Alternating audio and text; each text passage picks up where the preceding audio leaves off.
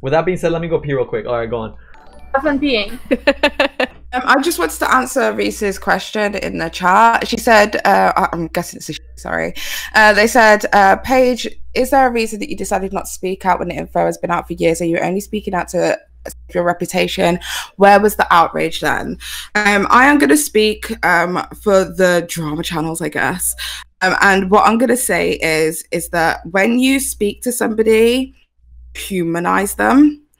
And it becomes a very difficult situation to then speak about them. Um, I know that that is the uh, paradox that Rich Lux has found himself in is that this person has now become his friend. When somebody is your friend, it's hard to accept things, it's hard to deal things, it's hard to process things. It becomes a whole different situation. I'm going to be upset with my friends for not making the same decision that I've made.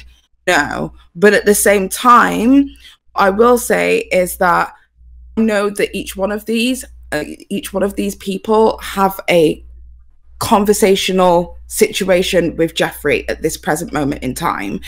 So I understand why it's difficult for them. But for me, I knew that when he sent me that message, he was quite prepared for me to lie on his behalf and then for the consequences for that.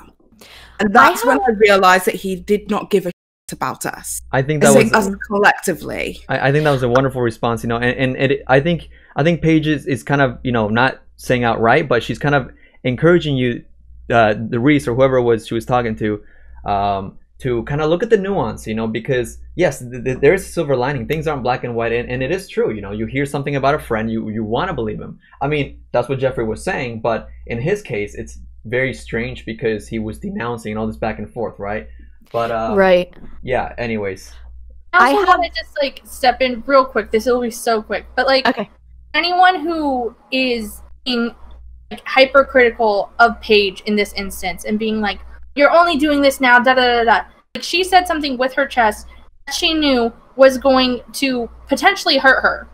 right? Yeah, Like, absolutely. You guys are treating Jeffree as if like him like he doesn't have any power.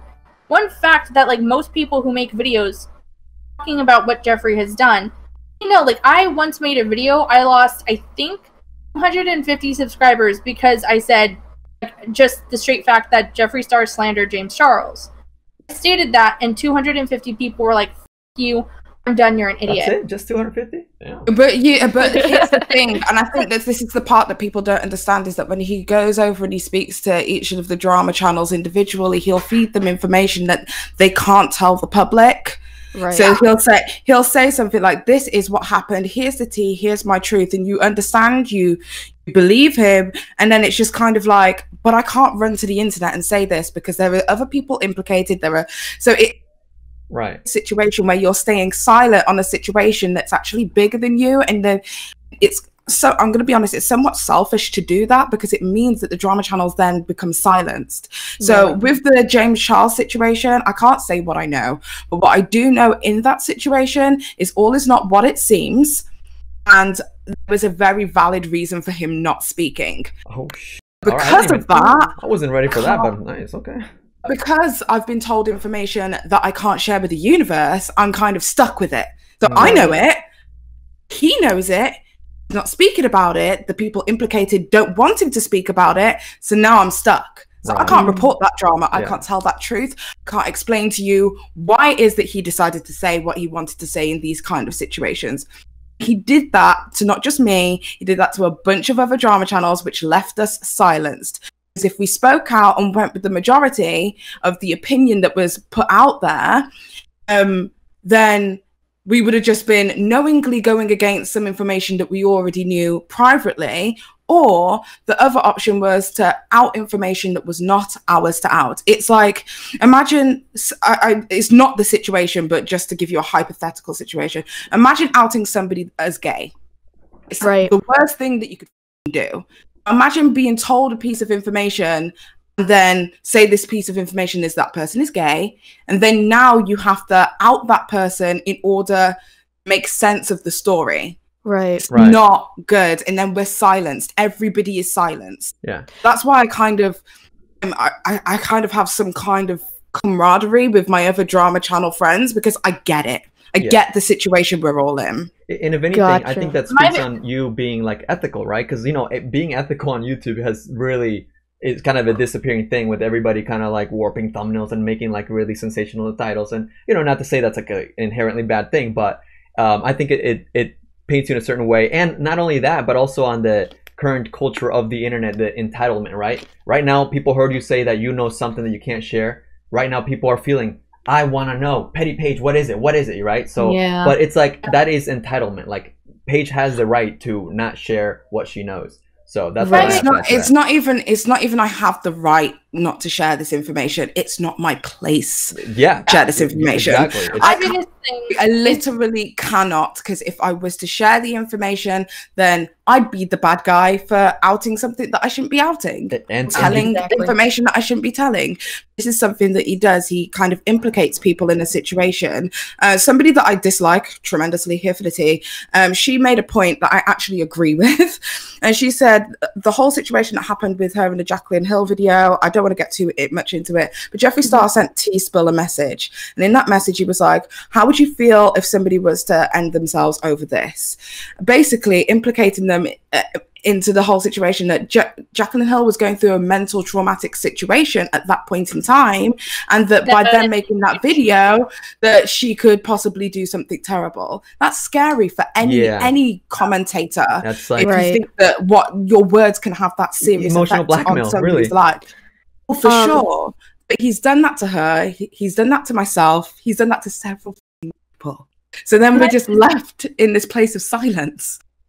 My biggest Um, thing is that like when people who are in the chat right now are critical of you even saying anything at all. Like again i'm seeing a lot of critiques in the chat that are like oh you are only doing it now because it's popular blah blah blah blah. My biggest thing is why are we yelling at someone for providing us more information showing a receipt that proves not only that jeffree has lied in the past week um, but it's him like gaslighting and doing all this stuff I don't understand when people are being like hypercritical with you coming forward, saying what you said, because you showed all the proof, you came forward and you did something that was extremely hard, and I think that should be validated, that should be praised, regardless of like when you did it. Just because you didn't speak up 20 years ago, we are going to say, age, speak up now. Paige did a good job now. And with that, TehMimi's been trying to talk for the past 20 years, so I'm going to give her.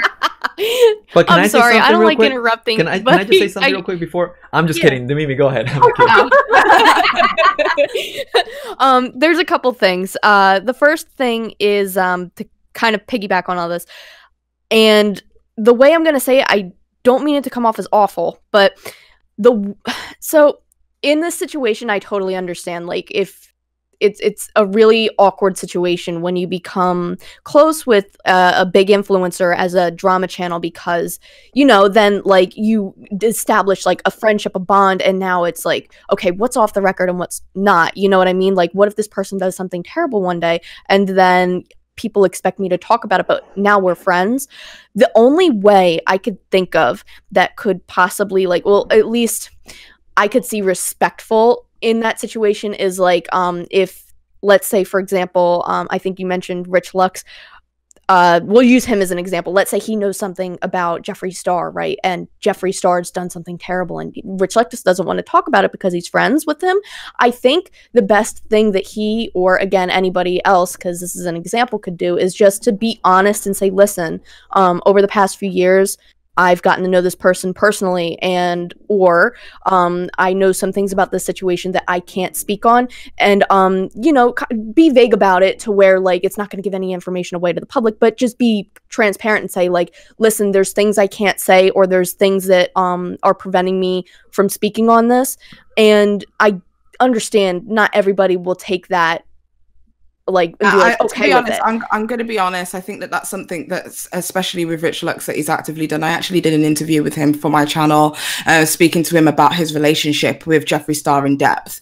And in that interview that I did with him, he basically said, you know, like he's my friend, and I find it hard to speak about my friend. When my friend is in controversy, the first thing I want to do is protect my friend, which is normal, natural, human responses when it's your friend. You get what I mean? yeah. So I kind of understood him, but it, it, it just means that he's, to honest, when it comes to Jeffree, he's always going to be f- unless he disassociates. I think that that's just, and, and, Yeah. you know, but people have it's also different a levels. very- Pe- oh sorry I, I was gonna say people have different levels of like whoa this is too far like you know uh, obviously i respected paige's video because you know it was obvious that that you know understandably so she was like yo jeffree what the f- is this right? And you Yeah. know the, something like that like something like this issue may not affect rich lux you know may not affect shane dawson. You, you, you can't just expect everybody to turn on jeffree star because he's like he's like what's wrong with what i did? Who cares? Right? You can't expect everybody to turn on that or expect him to answer for that right? It's it's a very odd,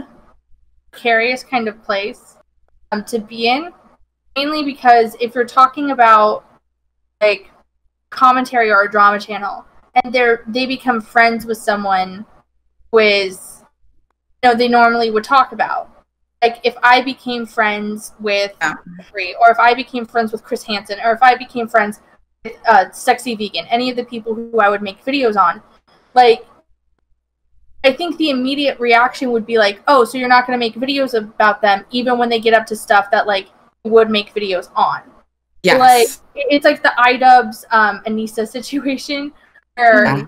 he's dating a girl who was doing the same things that he's made content cops on other people on for, and that's what people are like criticizing for the most part because they're just like, he said all this like cringy." Shit, and you made fun of other people for saying the same stuff. So Yeah. is it's like I, I'm not sitting here saying don't be his friend. I'm not saying like break up with this person, any of that. My biggest thing is that if you aren't going to keep it like hundred across the board all the time, then Mhm. don't be confused at why people are critical, at why you're not keeping it 100 across the board all the time, because that's an issue. Yeah. It's like Yeah. Yeah, um, I feel as if um, it, I feel like everybody has the right to abstain from speaking about something. Um, however, if it is something that you would usually speak on, it, it I get it. It definitely does cause a problem. Um, but also with the Jeffree Star situation in particular, especially when you're dealing with this person, you're speaking to them, um, they're sending you messages, they're feeding you information, all that kind of stuff. Because also you got to remember, a lot of the drama channels we're, we're here, we're doing this for as a business. This is a job for a lot of us. So um, a lot of people want that inside scoop. You get what I mean? For me, at one point in my head, it was, oh well, I, can ask Jeffree any question now because he follows me. I follow him back. I can ask him if there's a situation, if there's a controversy, I can ask him directly. And I kind of feel like everybody, especially I feel like as an audience, one of the main questions that happens when you are a commentary channel is, did you reach out to them? Well, did you ask their opinion? What did you? What? Where were your thoughts? About like you didn't ask them, so how would you know?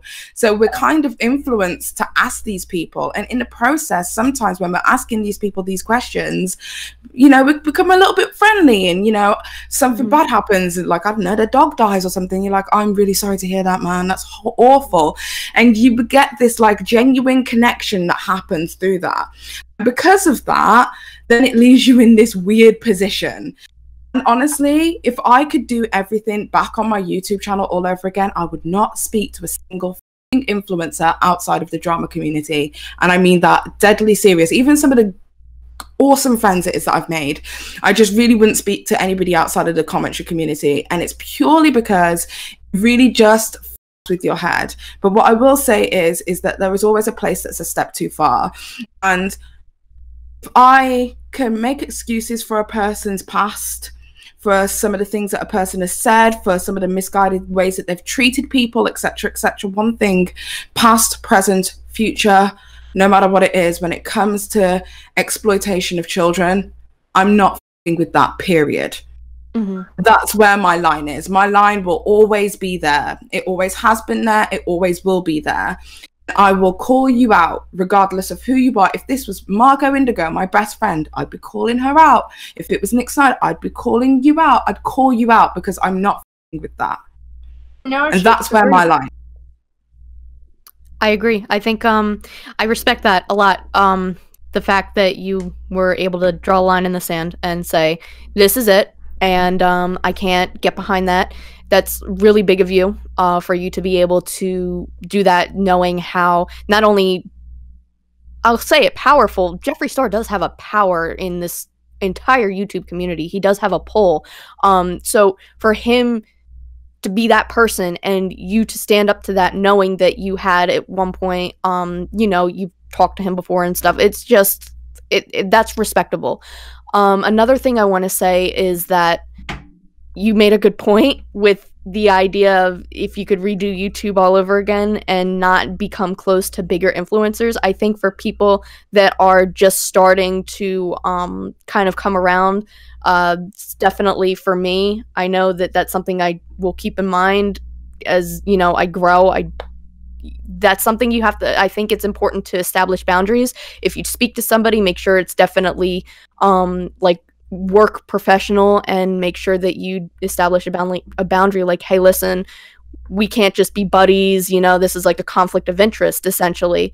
And i think that's something um, anybody listening right now should take in con- into consideration if they ever consider making a platform that they want to speak on to think of this because you never know if you end up becoming a bigger channel and establish connections. You want to make sure that the, those boundaries are made so that a situation like this doesn't happen in, again in the future Yeah, hundred percent. I think that honestly, um, those kind of friendships can be detrimental to a commentary channel. If you're like a normal beauty channel, then do your thing. But yeah um, if you're a commentary channel and it's purely based on your opinion, you don't want your opinion to fluctuate based on who you're friends with. And um, that's even- definitely something that I've learned. even beyond friends like sometimes it can feel like flattering to be followed by someone special right you're like oh damn it should i should i talk about them what are they gonna think of me right it can feel like yeah that um and, and Yeah, I, it is I mean, on one hand, shit all the time. I'll, I'll sit there and I, I have people who follow me on um, Twitter and like on Instagram, and I know they follow me. I know they're seeing what I post, and they probably follow me on YouTube. I'll post something, and I'll be like, "Oh, shit, they're gonna think this of me. Should I delete it? Should I edit that out and then re-upload? Like, what should I do?" And then I'm like, I, I can't let this person have authority over me because I don't know them, and I don't owe them anything. Like, this is my opinion. I'm not going to change my opinion because someone who has more power than me. I think what helps is that I live a very low key life. Like I don't put my face on YouTube. Don't put anything identifying of myself on YouTube. It's like if I go outside, there's no one who's gonna notice me, and I can't have an ego. Like no one's gonna possibly say like, "Oh, you're this person," because nobody knows me, and I'm small anyway. Like sometimes i envy that to be honest showing showing, showing face and, and talking about 100%. going against unpopular opinions is uh can get intense uh yeah I actually almost had to do something really drastic with my channel and like wipe all like either redo or wipe all of my videos and like do something sort of like the right opinion where they have like a little cartoon character because of a job I tried to pursue a couple months ago. I ended up not getting it, but if I had obtained that job, I would have had to do the same thing. And I would- I like for me it was just a matter of like i live a very frugal life. I mean obviously i started when i was homeless so you Hell don't yeah get more frugal than that.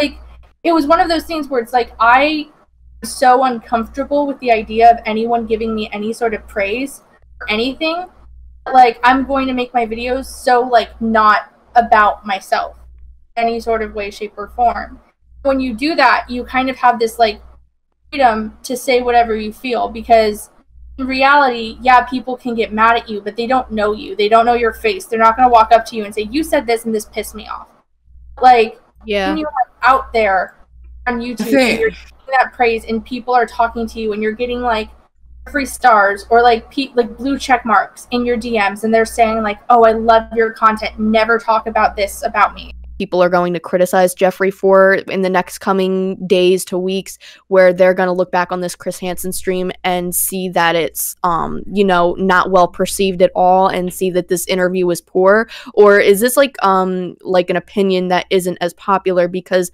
I know I've been tweeting it and I've been talking about it a lot but personally I haven't been paying too much attention to um everybody's like big opinions. Like I kind of closed the chat and wasn't paying attention to it. And um So I'd open it from time to time when we were when the stream was live, but I wasn't really. The chat you is know- voting no, and I'm gonna go ahead and say I don't think it's gonna drag on either. I think that commentary, like channels like, uh, you know, uh, us, like, you know, I, I think that Paige is in, on her own kind of like, she's she's commentary, but she's not like, I don't know, uh, Paige, Paige you've kind of like changing your direction a few times throughout the past like six months. Huh? I dabble, yeah, I dabble. Um, I've had like this whole ass revelation over the past, I'm gonna say six months. Um, it's just been, to be honest, it's been emotional. It's been, it's been real. It's been real, guys. Um, at the same time, I just kind of was like, wanted to remove the financial side of YouTube, and I don't know if you guys get this as influencers or whatever, but when YouTube becomes lucrative, you, you became you get this instant pressure to make sure you're making content. You've got to make four videos a week. You've got to do this. Da, da, da, you're getting burnt Yeah. out, and then you're making content for the sake of making content, not making content because you fucking love making content. I lost the passion for commentary, so now I've just decided to make what I want when I want, and now YouTube is not going to be my financial backbone of my home. I'm going to make money elsewhere. And because I've decided to do that, I've got a lot more freedom, which is probably what the one thing that's given me the courage now to speak so openly about Jeffree because I'm not scared of losing anything anymore because I've got nothing to lose. Fuck you. I dig that. Yeah. Um, I now, but but back to that question. So, do do we think that uh, this uh, is gonna be, be keep talked about? Um, w- was the Uh, question? Do you think it'll be talked about amongst like beauty influencers? Was that more directly a question, or just being talked about in general? Just in general, I've heard um before the interview went on, like people were thinking that this was going to be like Dramageddon 2, and now that like we're we watched the video, we watched the live stream. I don't know if that's true or not. I don't know if it's like people are going to find this important or if they're just going to take Jeffree's word on this. I think it has potential. I think. Sorry. Um. It's Oh, going. uh, I'll, I'll try short. I think it has potential, but like the, the fact of the matter is the issue is you know when it was James versus uh, Jeffree, those are two super huge influencers, right? And right now it's just Yeah. Jeffree against what victims that don't have a platform, and the, the platform they have is Chris Hansen. He doesn't really want to bat for them when it matters. So therefore, I mean, it, it has potential if you know, but that's the hard part about the speaking up for victims because then it's like, where's the receipt? Where's the hard proof? So I don't know. It's up in the air, but I'm leaning towards like a 40% or 60% no and like 40% yes, maybe. yeah. my biggest thing is that I know um, Angelica Oles, uh, she tweeted about this last night. Um, TeaSpill tweeted about this, I think, a couple days ago, and she said, "Oh, I'm gonna not comment on it until I, you know, uh, see the interview." I know that Hansen X uh, Jeffree Star was trending in the entertainment, and I know from what I saw, it could just be like or picks up my trends and is just like, oh, you like when they say this was bad, so I'll just show you the bad tweets.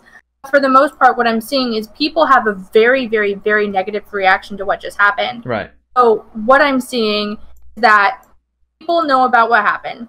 People are mm-hmm. aware that this interview was garbage.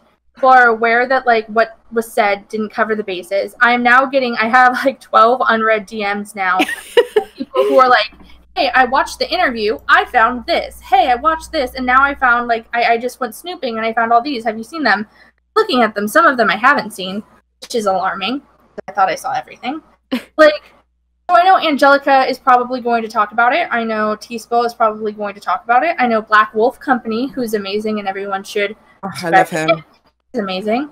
Um, and, and the commentary, like boys, are interested in this topic, and I know that to be true. And so I'm very much hoping that people keep this ball rolling because it's a very interesting ball to roll. Like it's there's so much more that wasn't brought up in this that we know of that is on Twitter that nobody's paying attention to on YouTube.